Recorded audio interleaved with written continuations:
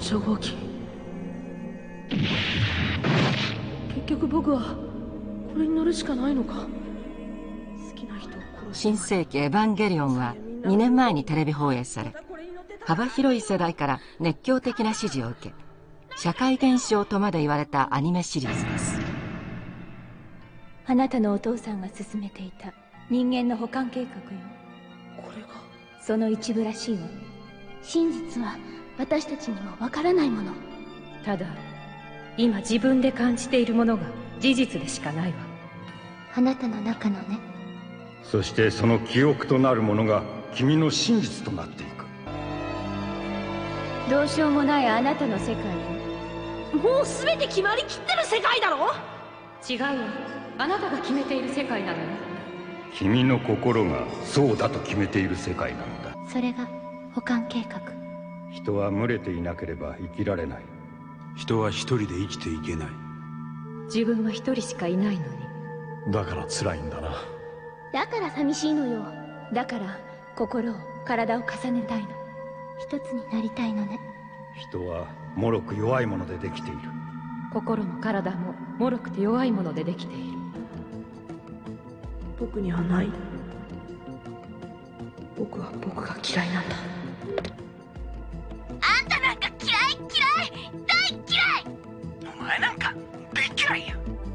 は嫌いだな。君のことが。ごめんなさい。あなたのこと嫌いなの？嫌い嫌い！大嫌い！でも褒めてくれるんだ。エヴァに乗ると褒めてくれるんだ。人に褒められたんだ。人に褒められたんだ。どちらが本当の気持ちなの？わからない。いやどっちも本当の気持ちだ。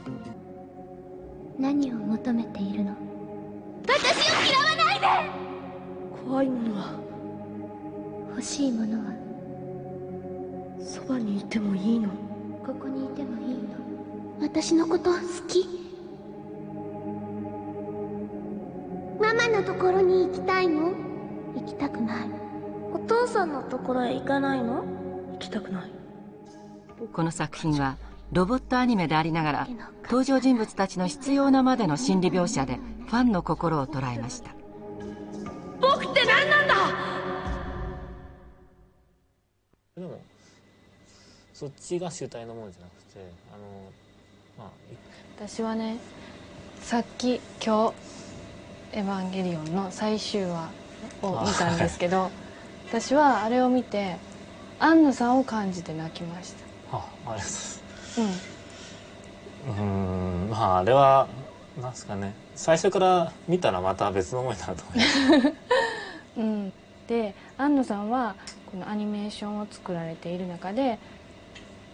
うんリアルっていうものはっていうか作り事？ええ、作り事なんですよ。ねその中にあるリアルっていうのは何だろうってことですね、うん、だからもう要するに作り事であるっていうことを認識してそこから始められてるんですよね。あそうですね。全て作り事ですからね、うんうん、役者の芝居ですら作り事なんですよ、うん、でもそれは安野さんから出てきたものなんですよねそうなんですけどね。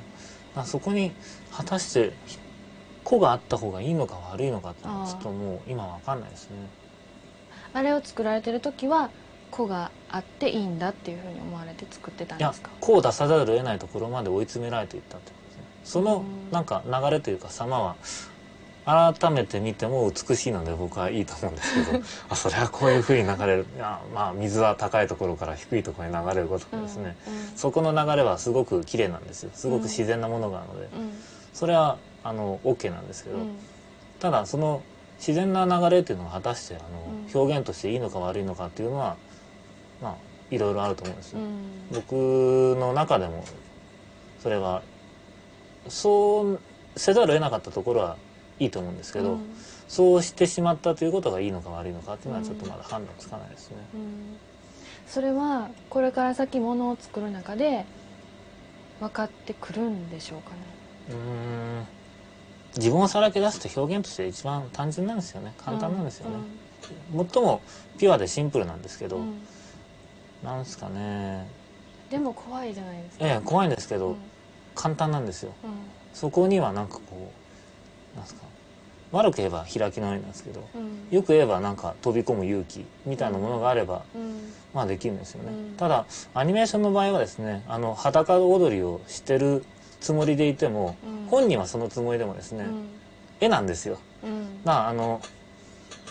要するに裸の絵を描いてるなんか服を着てるようなもんなんですよ、うん。だからあのあれは絵なんだと思ってみんな見てくれる、うん。アニメーションの良さっていうのはそこなんですよ、うん。自分をここまでさらけ出したとしてもそれはあのフィルターを通すんですよね、まあ、水道の水としてなんかこう原液をドボドボ出してもですね、うん。自分の中の。うん。本来それは表現としては最低のことなんですけど、うん。アニメーションであるからこそそれがフィルターを通して水道の水になんですよ、うん。飲めるものになってる。うん。それはすごいなと思うんですけどこれはアニメーションのいいところだと僕は思うんですよね、うん。これを実写でですね自分をこういうふうに撮ったドキュメンタリーにした時には誰も見てくれないですよ。うん私もそうです。あれ私はアニメでではない実写を撮ってるわけですけどだけども撮られた世界はそこにある事実ではなくって私の真実になっていて、えもう作られてるんですよ。だからなんかうーんそうせざるを得なかったっていう、のであっすねてもう作り事なんですよね。だからもっと作らなければいけないのかとかうーんもっとそうじゃなくていいのかとかその辺のところが今はまだつかめてないんだと思うんですよ、うん、それにはやっぱりこう見せていくっていうこととか実人生を生きてる中で人と関係を持っていくこととかっていうのがすごい大事なんですよね。あそうですね。あのー別にまあ一人で可能は可能なんですけどうん一、人よりはそこは二人いた方がですねなんか、A と B がぶつかって C ができる確率が高ければ高いほど、うん。そちらの方がいいと思うんです。よ、まあ、映像にこだわってるのは多分そこなんだろうなと思うんですけどね、自分一人をさらけ出すんだったら本当に文化が一番ベストですよ。安野さんは孤独ですか？孤独を忘れる時もありますけど基本的にはまあ人間みんな孤独じゃないと思いますけどね、寂しいのが基本でなんですか、あの寂しくない気になってる時の方が幸せな気分っていうんですかね。基本的には寂しいんだと思うんですけど、うん。なんかもう私ものすごい孤独なんです。孤独で生きてるわけですよ、ええ。それを分かってるんですけど。だからなんか飽くなき追求っていうか誰かと心で交わりたい、うん、その魂の部分っていうかそこで交わりたいってずっとこう追い求めるんだけどなかなかできずにいるんですね。でその、まあ、エヴァンゲリオンのその最終話近くを見ていてうん彼らっていうのも本当に自分と同等で、うん、人間でそうなんだと思ったし安野さんがそうなんだと思って。カンヌ行ったじゃないですか。えで賞をもらって舞台に立ちましたよね。でそこで世界の映画人たちが並ぶんですけどだけどそれはテレビでなんか映ってるスターとか、うん、映画人たちであって私にとっては。その時一番ねヒューってね核にね立ち戻るんですよ。ええ。そこがね自分のねおじいちゃんとおばあちゃんだった、うん、あだからね私あやっとここから始まれると思った。僕は卑怯で臆病でずるくて弱虫で。自分が分かれば優しくできるでしょう。僕は僕が嫌いだ。でもでも好きになれるかもしれない。僕はここにいてもいいのかもしれない。新世紀エヴァンゲリオン第26話主人公の少年は悩み抜いた末に自分の存在を肯定するに至ります。僕はここにいてもいいんだ。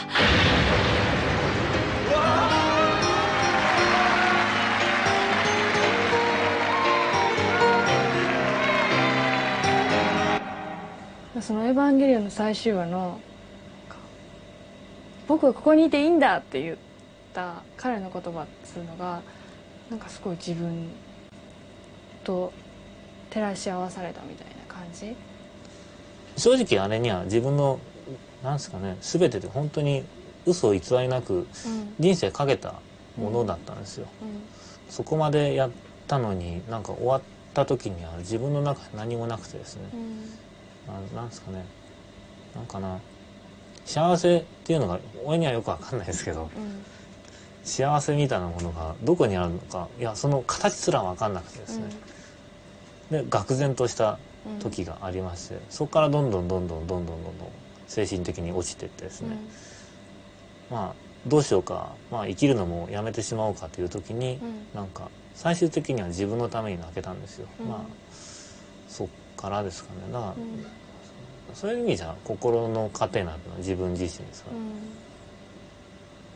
うん自分のために泣いたってことですね、自分のために泣けたっていうのはいいことだなと僕は思ったんですよ。私ね何もないところからね生まれると思ってるんですよ何かが。えあ。うん、あのっていうのはそのほんまに何もないとこじゃないんですよ。その私の言うてる無っていうのはこうその時までの自分を全部さらけ出してしまった後の無、うん。あはい。うん、私自分の作品作ってて私にとっては「あの煮包まれて」と「カタツムリ」っていうものがそうだったんですよね。え。もうその先行ってしまったらこれまでの自分が全部もう音を立てて崩れていくかもしれないって思ったけどそこに踏み出してそれをこう求めていってでなんか作り上げれたっていうことでなんかガーってきてで無になったんですよね。したらなんか結構強くなれて強くはここにほんまにそうなんですけどここに私が入れていいんだっていうことで涙が出てきたっていうのがあるんですよね。ああ。うん。そうですよね。なかなかねそれはね言ってもねあんまり人には伝わらない、ああそう思います。うんうん、だから私は私にとっては映画っていうものがきっともうなくてはならないものになってんだろうなと思うんですよね。うん。うん。映画の場合お金出して見に来ますから、うん。お金を出した以上はなんかそれなりのサービスというのはうん。あの不可欠だとは思うんですよ、うん。うん。まあそこに快楽があるのか苦痛があるのかっていうのはうん全然別と思うんですけどお金を出して苦痛を味わわせてあげるというのは僕はサービスだと思いますから、あ世の中いいことばっかりじゃありませんよというのを教えるってことですからね、お金を出したらなんか簡単に快楽が手に入ると思うなっていうのもサービスだと思います。うん。うん。なそこはなんか、まあ、そのあのまあ貨幣価値とか金銭的なものっていうのは本当はどうでもいいんですけどでも人のつながりにお金がある以上それは最低限の例だと僕は思います、いやわ安野さかんないです。んのその本物っていうのが私にとってのそのリアルっていうやつなんええそういう言葉かもしれないですね。そうや何なんでしょうね、ええリアリティっていうのはなんかそれは見た人の感性に訴えるものがあると思うんですよ。あ、うん。私こういう目にあったっていうのがあればですね、うんうん。やっぱりリアルに感じると思うんですよ。はい。ええだとするとですねなんていうのかなあの例えば今戦争映画ってほとんどないですよね、うん。必要ないからなんですよ。日本戦争50年してないですから。うん。でもちょっと前の東宝とかってもう暇さえあれば8.15シリーズで戦争対策ですよね、昭和40年代とか戦争映画しかほとんど娯楽がないようなイメージもあるんですよ、あれたあの頃はあの戦争映画にリアリティをなんかこうみんな探してですね。それはお客さんの大半が戦争経験者ですから、こん。なんは戦争じゃないよと言われれば以上終わりなんですよね。それは戦争映画にならなくて、でそのリアリティもどんどんどんどんなんですかねあのあの加速していくっていうのさ、うん。なんか雪だるま式にどんどん派手になっていくだけで、うん。それはそれで違う方向性にいっちゃったんじゃないかとは思うんですが、ただ今僕らが戦争映画作れって言ったら果たしてできるのかっていう疑問はあるんですよね、知らないですからかといってそこを過激に表現したところでそれはそれで嘘だと思うんですよね、まあ自分が経験してないこと以外は果たしてやっちゃいけないのかとかですね、うん。そうなったらあの俳優修行みたいになっちゃって、うん、なんか自分が経験できないことはもうそれはリアルじゃないとなりますから、うん、でもそこはイマジネーションとかですね、イメージとかそういうものがあると思うんですよ。なかったら宇宙空間の爆発なんか誰も見たことないわけですから、そういうような表現できないってことですから,、だからそこのリアリティというのはを埋めていくのは僕はイメージだと思うんですけど、うん、な個によってリアルというものが違えばそれはもう、なんですかね自分の中のリアルを求めていくしかないのかなっていうのはちょっと感じるとこなんですが、うん、ただ自分の中のリアルが100人のうちの1人だったらそれはただ単にマイナーなものになるということなんですよね。うん、100人のうち99人がそのリアルを感じてくれればそれがメジャーになるということなんですよね。本来うちのアニメは受けるべきじゃないと思うんですよ。こういう、うん、こういうものは、うん、本来ならマイナーであるべきものがここまでメジャーの方に持ち上げられてるっていうこと自体が僕は日本はちょっとおかしいと思いますね、うん、これは正直思います、本来マイナーであるべきだと思うんですよ、ただそういうマイナーなものの中にも普遍性が蔓延してるっていうのは、まあ、どうかなと思いますね、おじいちゃんの世代から見れば許せんという時代だと思いますけど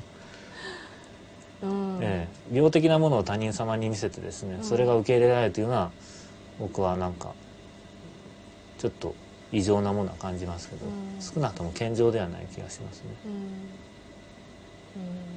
その異常な世の中の一人の人間やっていうふうに思ってます、ええええ、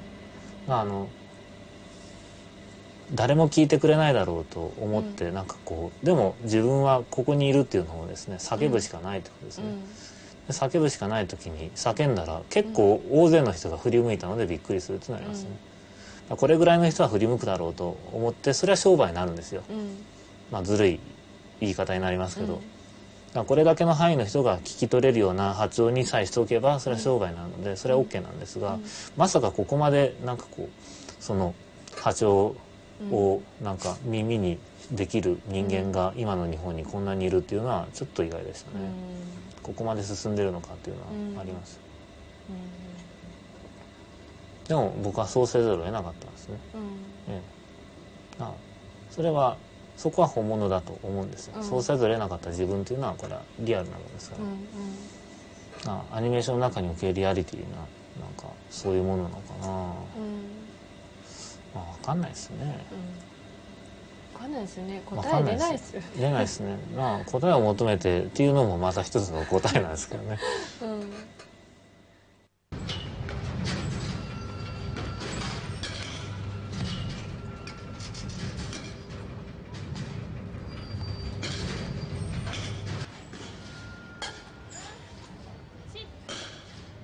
やっぱりリアルっていうのはもう私の中にあるっていうことがね確信できたっていうかね。アニメの世界であろうが映画実写の世界であろうがそれは変わりなくあるじゃないですか。自分のなんかものを流し出してしまう。それがいいのか悪いのかわからない。だけど実は世の中で生まれ出てきた私たちが、うん、この私をリアルだと思ってものを作らないと何も始まっていかないんだなっていうことを思います。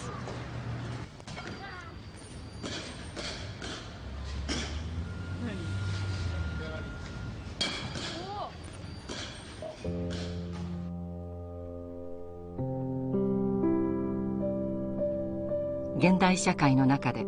人と人とのつながりが現実感を失っていくことに川瀬さんは大きな不安を感じています。映画という表現方法を使って人間そして自分という存在のリアルを探っていくこと。川瀬さんは時間をせき止めるようにカメラを回し続けます。